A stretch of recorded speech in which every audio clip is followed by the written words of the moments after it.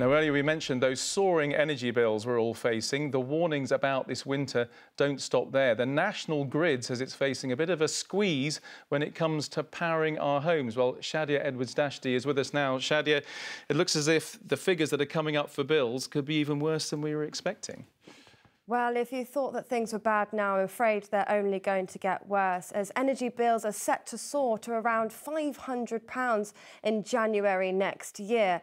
So the National Grid, which is one of the leading utility companies here in Britain, they're now issuing a warning that they are going to struggle with the increase uh, in demand, particularly in the early month of December. Now, why? Well, of course, that's a time when majority of us are switching on our central heating as the nights then get colder. The good news is, though, they're not saying there's going to be a total blackout. They're saying, actually, there's enough supply to keep the lights on. However, we're going to have to pay for it. It paints a really bleak picture, though, because right now, on average, every household pays around £1,900 a year.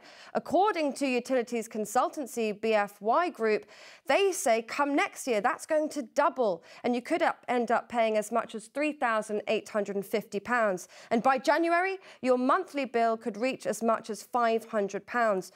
Obviously, off the back of the heights of the winter months, it's understandable, it's inevitable that that price will be higher in that particular month. But earlier, I spoke to a senior consultant at the BFY, and she says with these sorts of prices, people could end up dying.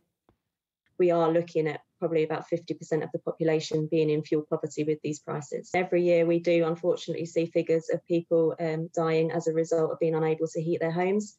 The stark reality that we're facing into here is even more people will be in that impossible situation of deciding whether to eat or whether to heat their homes, and it will likely lead to further um, unnecessary deaths this year. So, what is the government going to do about it? Well, of course, the government says it's in a very difficult position. Yes, it is understandable. The UK isn't alone in all of this. We know it's a Europe-wide issue, particularly with the shortage of supply across the continent. But it's the most vulnerable here in the United Kingdom that will suffer the most. They're the ones that will be hit the hardest because simply they don't really have the cash. Now, earlier today, Nadhim Zahawi, the Chancellor, he actually said the government is doing all it can. Uh, the first tranche went out, in fact, uh, to people uh, last week, and of course, more to come for the autumn. Uh, £1,200 to the 8 million households that need that additional help. But we will always be on the side of people, try and help wherever we can to mitigate against these uh, energy price shocks. Of course, we are in the middle of a cost of living crisis. Pe people are already making very difficult decisions between heating and eating. But now, come January, people may not be able to do either. Thank you, Shadia. A very serious situation.